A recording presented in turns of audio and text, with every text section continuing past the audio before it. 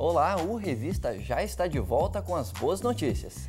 E agora é hora de mostrar um encontro de saúde que aconteceu em Pernambuco e ensinou as pessoas como viver uma vida equilibrada com os remédios da natureza. No evento, um desafio foi lançado: emagrecer com tratamento natural. Vida estressante, sedentarismo, alimentação gordurosa, ansiedade, resultado obesidade. Assim é a vida do professor Ângelo Bernardes e da professora Adriele Elpidio. Típico da modernidade. Mas e aí? Isso prolonga a vida e traz saúde? Foi justamente para conscientizar os fiéis da Igreja Adventista do Sétimo Dia e simpatizantes que frequentam a denominação que a sede administrativa da Igreja para a região Nordeste do Brasil realizou no Instituto Adventista Pernambucano de Ensino, a 120 quilômetros do Recife, o primeiro encontro de profissionais de saúde do Nordeste. A nossa proposta com esse evento é que aqui seja um agente multiplicador de núcleos de saúde em cada região. Dr. Farias Neto, médico voluntário, líder de um grupo de saúde em João Pessoa, na Paraíba, fala dos resultados na prática de eventos como este. A gente sente realmente que a comunidade é impactada pelas ações de educação em saúde que a gente faz. Mais de 100 profissionais da área, de seis estados da região, estiveram presentes entre os dias 10 a 12 de abril, com palestras do Dr. Daniel de Faria, do Hospital Adventista de Belém, e do pastor Marcos Bonfim, líder de saúde da Igreja Adventista para a América do Sul.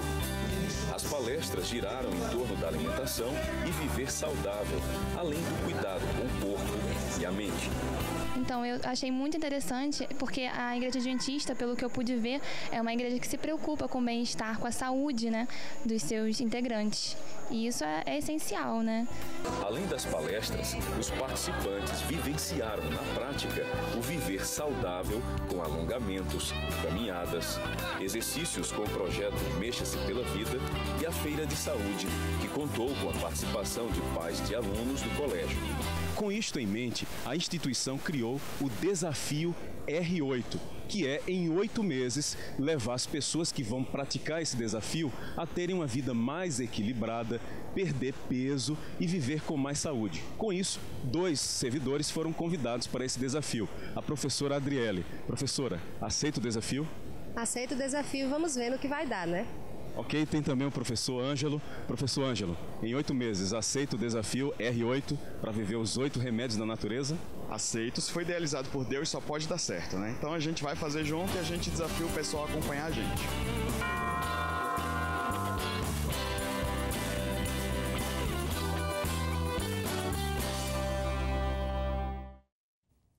Ainda falando em saúde, no Colégio Adventista de São José dos Pinhais, no Paraná, os alunos colocaram a mão na massa e ajudaram a promover uma feira. A fórmula não é mágica, mas as dicas são muito importantes para quem quer ter uma vida mais saudável através de oito elementos naturais e acessíveis.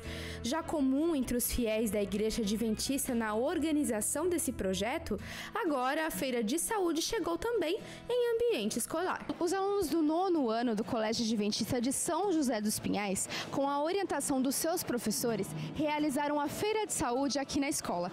Eles adotaram duas frentes de trabalho: uma feira de saúde só para os alunos do colégio e uma feira de saúde para os pais e a comunidade. A intenção é implantar na escola e na comunidade cada vez mais o hábito de uma vida saudável. E eles se envolveram por completo, desde o estudo dos temas até a organização e orientação em cada estande por onde os participantes passaram.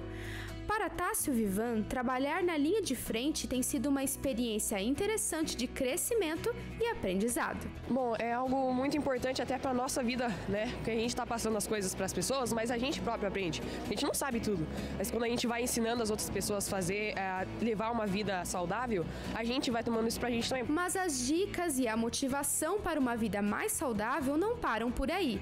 A ideia é haver um acompanhamento e uma comparação com os resultados dados coletados depois de um período. Através de atividades que o colégio vai proporcionar semanalmente, todas as quartas-feiras, aquilo que foi aprendido aqui vai ser colocado em prática. Esse grupo de pais que vai fazer exercícios vai receber novamente é, orientações de saúde, tal como eles receberam aqui, mas serão lembrados. É o projeto para o ano todo, para que isso se torne verdadeiramente um hábito e não apenas um evento. Os alunos também foram monitorados, eles, eles participaram do circuito que hoje eles apresentaram e eles serão acompanhados farão novamente para ver se houve progresso ao longo de todo o processo, dos hábitos que eles adquiriram, daqueles que eles já venceram, maus hábitos que já venceram e como isso impactou a sua vida ao final do projeto, poderemos fazer uma avaliação. A Feira de Saúde no Colégio de São José dos Pinhais é uma parceria com o Departamento de Saúde da Igreja Adventista no sul do Paraná. Esta foi a primeira escola em toda a região sul do país a realizar o projeto com a participação dos alunos. Nós queremos atingir todos os colégios e, de uma maneira, levar vida saudável e a mensagem do Evangelho chegando através da mensagem de saúde. Olha, enriquecer parece ser a vontade da maioria das pessoas, seja no sentido material ou no espiritual. Na região central de Pernambuco aconteceu um seminário para mais de duas mil pessoas que falou sobre prosperidade. Prosperar. Essa é uma palavra em evidência no mundo atual. Mas o que é prosperar? Prosperar, na minha opinião, é ter um bom emprego, que ganhe bem, muito dinheiro, uma boa conta gorda no banco. A pessoa ter dinheiro, a pessoa ter alguma coisa na vida. Conhecemos a Cláudia. Ela trabalha oito horas por dia nesse escritório, dar aula no curso de administração aos domingos, abriu a sua própria empresa no ramo de beleza e, além disso, cuida dos filhos e do lar. Ufa! Tudo isso para aumentar a sua renda. Sim, eu consigo ter um planejamento do meu horário no qual eu não deixo faltar nada para as minhas filhas, nem para o meu marido. E assim também é, na minha vida profissional como administradora na empresa no qual eu trabalho. Enquanto alguns buscam o enriquecimento material, há aqueles que preferem enriquecer espiritualmente, como é o caso das centenas de pessoas que participam hoje aqui desse seminário para ganhar apenas sabedoria para entender um pouco mais a Bíblia, o que para alguns é a maior riqueza. A nossa proposta é levar o membro a desenvolver e consolidar o hábito de buscar a Deus na primeira hora de cada manhã. O seminário aconteceu em todas as regiões centrais do estado de Pernambuco. Duas mil pessoas estão participando desse seminário. São vários polos. Estamos acontecendo hoje aqui em Caruaru um polo com 400 pessoas, mas estamos com um polo em Garanhuns. Amanhã faremos um polo lá em Petrolina, no Sertão, em todos os lugares. Alguns distritos estão falando, fazendo de maneira pessoal levando cada novo na fé a amanhecer com Deus. Tanto a Cláudia como essas pessoas buscam do seu jeito melhorar de vida. O conselho da Bíblia é: ajuntai tesouros no céu, onde nem a traça e nem a ferrugem consomem. Isso sim é prosperar.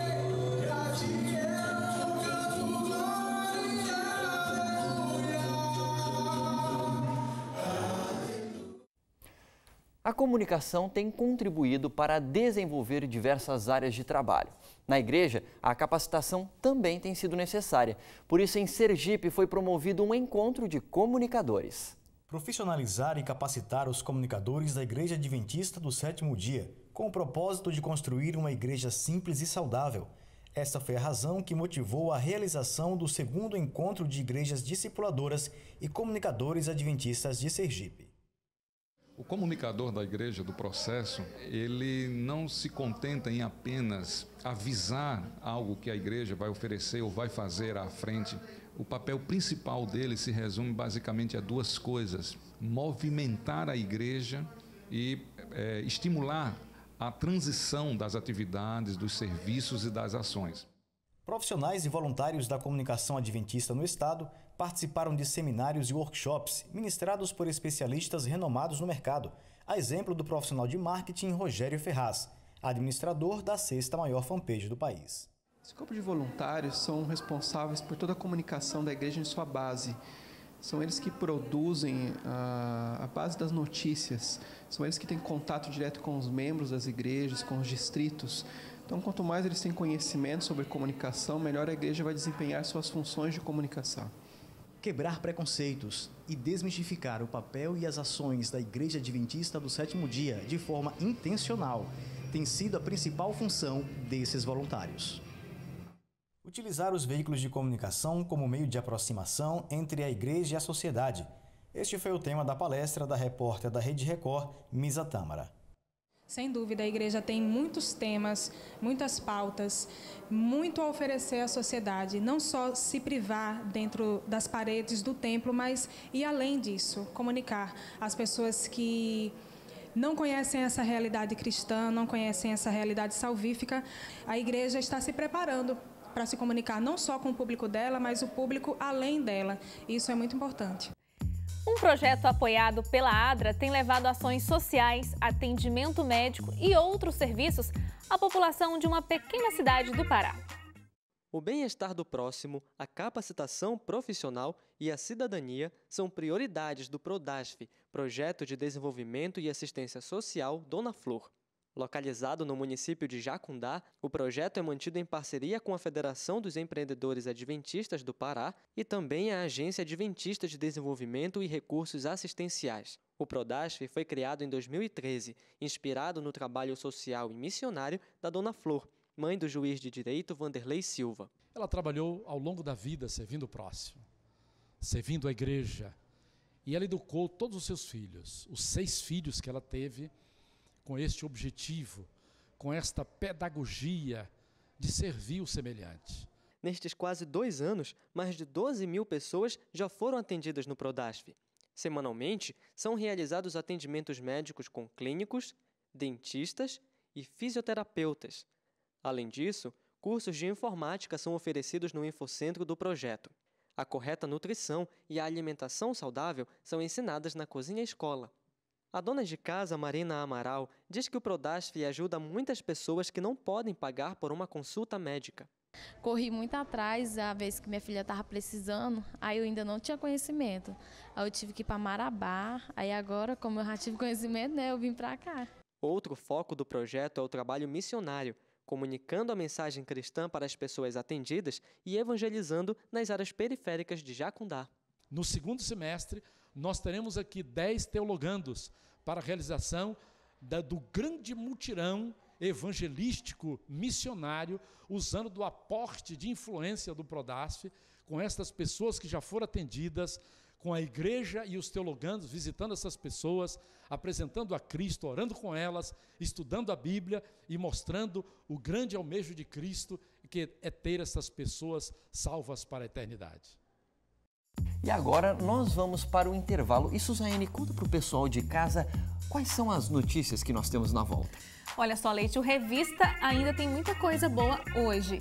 Tem as notícias internacionais, um passeio ciclístico que movimentou uma cidade do Ceará e também vamos mostrar mais uma estreia na TV Novo Tempo. É muita coisa boa mesmo, então não saia daí. São só dois minutinhos.